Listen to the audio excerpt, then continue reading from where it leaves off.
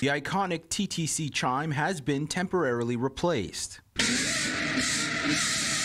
And it's the type of sound you'd hear in a nightmare, which isn't the intention. We did hear the first couple of days we had the chimes up that they were a bit louder than they needed to be.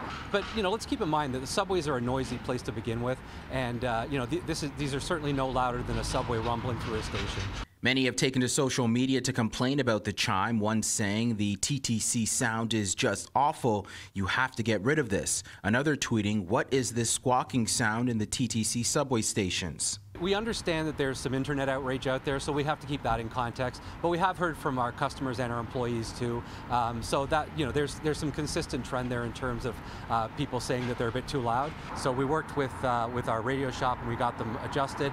Uh, so we, we we absolutely recognize that there were some concerns early on about the volume. We've brought that down a bit.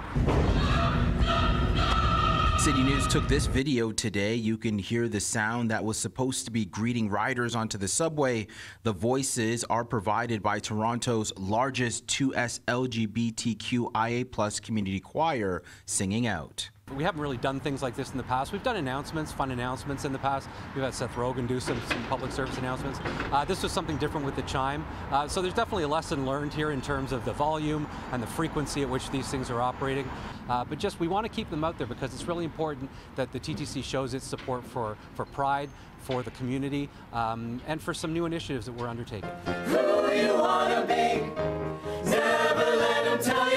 Singing Out appeared on breakfast television last week. Their vice president, Noah Whitenoff, says the TTC approached the choir with the idea. And it was a great opportunity for the choir to get our voices elevated across the GTA.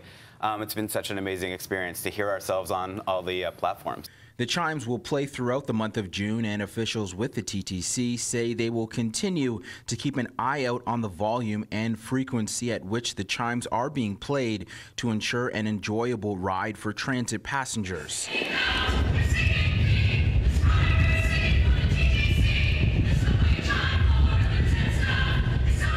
In Toronto, I'm Brandon Rowe for City News.